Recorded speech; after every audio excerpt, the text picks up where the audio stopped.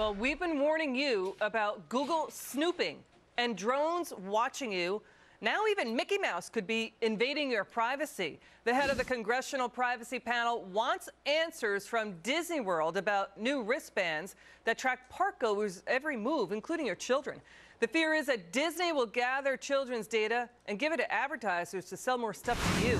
Privacy advocate Katrina Pierson says Disney is crossing a line by trying to track kids, and he's uh, joined by Jonathan Hoenig. She's joined by Jonathan Hoenig, who says, you know what? It's a government that's crossing the line. Make your case first, Katrina. What do you make of this move by Disney? Well, I think there's two issues here. One's really worse than the other, but the first issue is absolutely privacy. We see everything moving towards more and more Big Brother.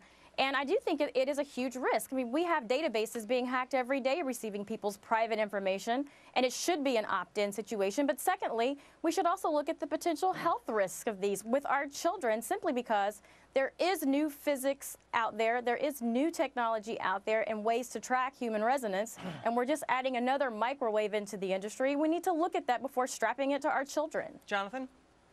Well, I mean, Congress's role is is to protect people's rights, not the shakedown Mickey Mouse, which is exactly what this is. I mean, Congressman Markey is so worried about Goofy, he's so worried about Mr. Toad's Wild Ride.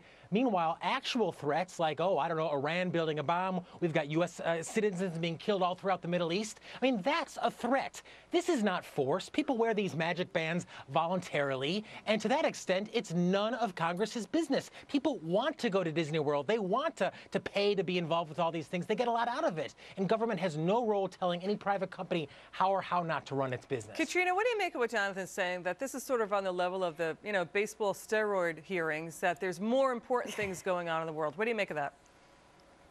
I mean, there are several more important things going on in the world, and the only reason why people do opt into this is because they don't know the technology behind it.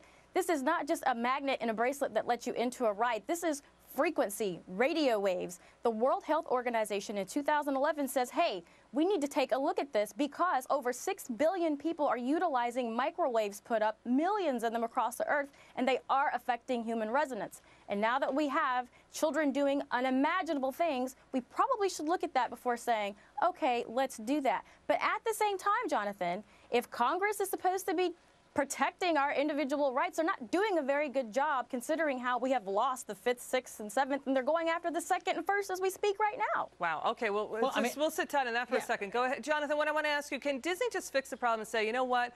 When we're giving you this magic wristband, we are collecting marketing information about you. We are finding out information about what you're shopping Liz, for, what you're spending money on. It is kind of creepy. Don't you think they should tell the shoppers that up front?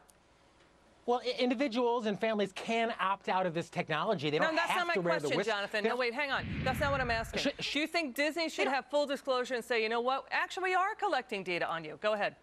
Liz, Liz, they collect data on you when you check into the contemporary resort. I mean, they collect data on you because you're voluntarily choosing to deal with them. And this idea that marketing, I mean, Christina thinks that somehow wearing a wristband, uh, an electronic wristband, could be a health risk. I think what uh, those who oppose this believe that it's a security risk for kids. But marketing to children is not the same as using force on children. And if parents don't want their children marketed to, they should have them take off the wristband, or should they have them go to Knott's Berry Farm or some other, some other other place behind Disney. I They're going to go saying, to Disney, Jonathan, however. Katrina, should Disney do full disclosure and tell the families that are coming through its gates that, yes, we are harvesting information about you and how your family shops, where you're going to spend your money at Disney World or Disneyland?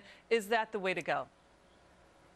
Absolutely. Disney should have full disclosure on the technology that they are putting on a child's arm and letting them know what the information is going to be used for. When you go to Disney World, you don't expect to be tracked and to end up receiving emails or, or mail even in your mailbox from marketing. I mean, at least let well, people well, know that's what you're doing and why you're yeah, doing well, you're, it. You're, you're, you're tracked the whole time you're there because there's hundreds of cameras that track your every move in Disney World. So of course you're tracked and you're tracked voluntarily because you know, choose we, to we go there it. in of the course, first Jonathan, place. we get that. And listen, I hear what you're saying. We don't want, you know, Ronald McDonald is now turned into the lifestyle ambassador because of, you know, the food police cracking down and saying McDonald's sells disgusting exactly. food. Well, of course, no, I shouldn't say disgusting food, but it sells fatty food that, you know, uh, that people may not want. And certainly the government has stepped in and said, wait a second, McDonald's isn't doing so hot in that area.